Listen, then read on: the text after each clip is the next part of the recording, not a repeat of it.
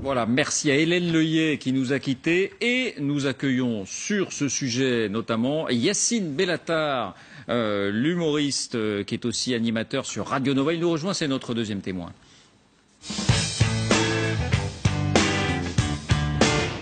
Bonsoir Yacine Bellatar. Figure et visage connu de l'humour français. Euh, votre C'est difficile regard- de dire ça après l'imam Chalgoumi, mais c'est vrai que je fais de l'humour. Pourquoi dites-vous ça? Bah, on n'a pas beaucoup de temps, mais je, je pense qu'en fait, je vous ai écouté depuis tout à l'heure. Merci déjà pour l'invitation, mais je, je pense que le 13 novembre, a-t-on vraiment tiré les leçons? Est-ce que vous comprenez que les leçons, c'est pas l'immigration, c'est pas la banlieue, c'est de la francophonie? Les terroristes sont belges. Est-ce que vous allez inviter tous les Belges? Est-ce que ça remet en question Tintin?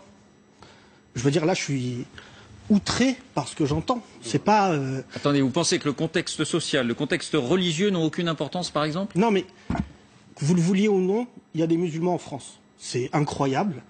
Mais il s'avère que la plupart vivent bien le fait d'être français et musulmans.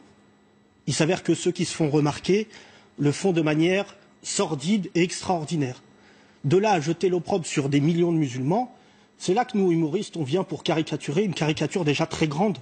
L'imam Chalgoumi, je suis désolé, je vous avais écrit un livre avec lui, je suis même pas sûr qu'il ait écrit. Oh, Et si, aujourd'hui- je peux témoigner qu'il a. C'était un Mais Aujourd'hui, est-ce que l'imam Chalgoumi est français Pardon? Est-ce que l'imam Chalgoumi est français? Non. Est-ce que les imams, est-ce que les gens que vous invitez sur votre Chalgoumi plateau franco-tunisien. Mais c'est très bien, mais moi je vous parle de français. Quelque chose de non négociable. C'est quoi être français Enfin, ça fait 10 ans des- qu'il vit en France, Non, 15 mais ans. très bien. Moi, mon père, ça fait 40 ans qu'il est en France. Est-ce qu'il est autant français que moi? Non. Moi, je vous parle de la France. Celle de Charles Trenet, la douce France, de grandir en France, d'être né en France, de pleurer quand on perd une Coupe du Monde, d'être touché dans sa chair. Quand le Bataclan est arrivé, nous avons été touchés dans notre chair, nous Français. Vous nous enlevez ce deuil comme si on était complices. Moi, je vous appelle pas quand un journaliste fait une mauvaise chronique pour vous dire qu'est-ce que vous en Attendez, pensez. attendez. Alors, non, mais je- mettons je- les choses à plat. Qui, sur ce plateau, euh, a fait l'amalgame, d'après vous, entre les musulmans et les attentats Mais vous vous rendez compte qu'il est 19h30, que des millions de Français sont devant leur télé et qu'on vient de faire un lien entre les migrants et l'islamisme. Mais c'est pas. entre mais l'immigration et Mais l'islamisme. c'est très grave. Mais vous pensez qu'on a Mais vous pas croyez vraiment que les ça Syriens- peut pas être une analyse Mais non, mais c'est pas une analyse à partir du moment où elle est erronée. Est-ce que vous croyez que des gens qui sont à Calais, qui sont remplis de boue, à qui on casse la gueule et qui veulent aller en Angleterre, en ont quelque chose à faire du Bataclan? En même temps, Yacine Bellatar, des gens ont été troublés de voir qu'une partie des terroristes du 13 novembre Oui. étaient passés par la Grèce et par les centres de, de- Mais je de- vous dis que euh, moi, je suis à. Molenbeek. Les frères Abdeslam, ils viennent de Molenbeek. Pas tous, bien Abaoud- sûr, mais il y en a oui, aussi. Abaoud vient de Molenbeek. Les meneurs, les leaders de cette, de cette atrocité ont un problème avec ce qu'on appelle leur pays. Aujourd'hui, c'est très facile de dire ils sont franco quelque chose. Quand on va voir un médecin, le médecin le plus compétent vous dit bah quand vous avez le sida, je ne peux pas vous soigner. On n'est pas en train de soigner un petit malaise. Ça fait 30 ans qu'on explique que les Français veulent, à un moment, être reconnus comme tels. Est-ce que, pour répondre à votre question, est-ce qu'il y a un lien qui est fait Oui, par une espèce de Premier ministre sordide qui s'appelle Manuel Valls, que vous recevez, il y a 577 députés, c'est le seul que vous recevez. Les 576 autres, Attendez. ils ont quelque chose à dire. Non, mais laissez-moi Attendez, on peut Vous être en désaccord, on peut être en désaccord sans être désobligeant. Il a une analyse. Mais quelle Valls. analyse Mais aujourd'hui, je vous donne un exemple. Balance ton porc. C'est quand même fou. Est-ce qu'un pervers a une origine? Est-ce que Weinstein, est-ce que Ramadan ont une origine ou une religion? Non, c'est juste des pervers. Depuis une quinzaine de jours, on nous explique que Tariq Ramadan serait plus pervers que les autres et que c'est lié à l'islam. Non, c'est pas lié à l'islam, c'est lié au fait qu'aujourd'hui, il y a des hommes, une certaine catégorie. Mais excusez-moi, on peut pas tout islamiser. Quand vous parlez, a-t-on vraiment tiré les leçons? Ça fait maintenant deux ans que sur vos plateaux télé, vous, David Pujadas comme d'autres, vous donnez la parole à des gens qui ne représentent qu'eux-mêmes.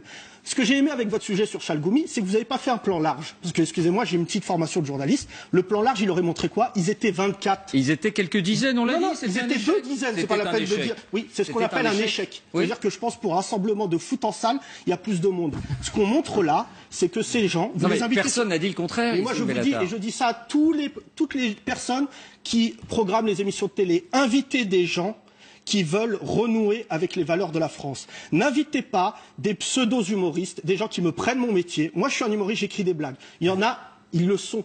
Aujourd'hui, vous prenez Manuel Valls, vous prenez Caroline Forest, vous prenez le Printemps républicain, vous prenez Mohamed Non mais qui vient tout le temps ici. C'est mais- le débat. Caroline le Forest, débat. elle a une analyse. Manuel Valls, il a une analyse. pourquoi leur analyse- On peut ne pas être d'accord. Mais pourquoi leur analyse On est plus peut intéressante ne pas être d'accord, mais sans les insulter. Mais je- est-ce que j'étais insultant? Vous avez dit sordide. Mais sordide n'est pas une pas- insulte, c'est un constat. Je vous dis que des millions de Français qui payent un moment leurs impôts. J'ai le maire de Grigny qui est en face de moi. Vous voulez poser la question sur le lien de banlieue? Alors. Le 16 octobre, on était ensemble. Malheureusement, il a été tué par un événement encore plus tragique de ce dont tout vous parlez. Euh, deux, personnes qui n'avaient pas atteint leurs leurs 30 années sont mortes, tuées par un autre individu de Grigny. Ça, ça montre qu'il y a une génération qui n'est pas liée à l'islam, qui est liée à une violence, que les maires de banlieue aujourd'hui sont otages de celle-ci. Et pour vous parler de ma génération, moi j'ai 35 ans, l'islamisme est une forme de rupture qu'on offre à la France, aux, aux- aux gens de banlieue. Moi, ma rupture, et je l'ai partagée avec Ross, puisqu'on se connaît depuis bien longtemps, c'était quoi? C'était la culture hip-hop. Avant, les rappeurs racontaient notre quotidien. On n'avait pas le droit d'exprimer notre colère d'une autre manière, puisqu'ils le faisaient. Aujourd'hui, les rappeurs, bah, Dieu merci, pour la plupart ont réussi, sont devenus des hommes d'affaires, et on cherche le tumulte avec la France à travers un autre exutoire. Il celui-ci, est, et il est légitime euh, cet exutoire, non de s'interroger pourquoi avant ça se faisait via le rap et pourquoi aujourd'hui cette rupture se fait parfois de façon heureusement ultra on n'a pas le- on n'a via pas la le- violence. Alors réaction à Yacine Bellatar, les uns et les autres, Euh, Jean-Sébastien Ferjou, et puis rapidement s'il vous plaît parce qu'on approche de la fin.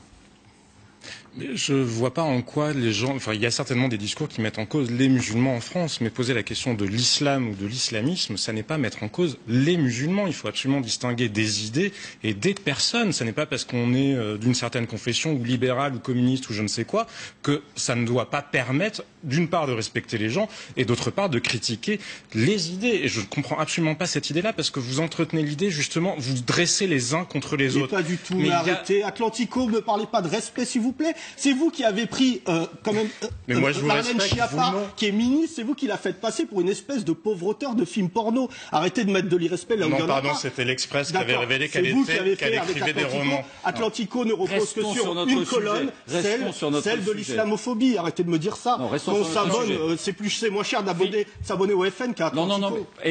Non, mais c'est on parfaitement absurde. Déjà, je compte. Non, mais juste, pardon, parce que c'est important. Je trouve que rien que l'emploi du mot islamophobie est déjà extrêmement contestable. Pour plusieurs raisons. on- Pardon, on je voudrais juste aller au bout. grave. Vous invitez à la fin du débat, on parle du 13 novembre. Non, mais pourquoi islamophobie Pourquoi l'islamophobie C'est un regard. Non, mais pourquoi- madame. Vous l'érigez en juge. Mais arrêtez. pourquoi Non, mais moi, Non, mais David Il n'est pas juge, Bellatar. choquée. Et vous voyez que moi-même, je le questionne Non, et que je lui porte la. Mais juste parce que c'est Il important. a une analyse. Il a lui aussi Mais il a le regard. droit d'avoir son analyse et moi je la respecte. En revanche, je Il ne tolère pas l'emploi du mot islamophobie ni concernant Atlantico ni concernant quiconque parce que vous ne pouvez pas.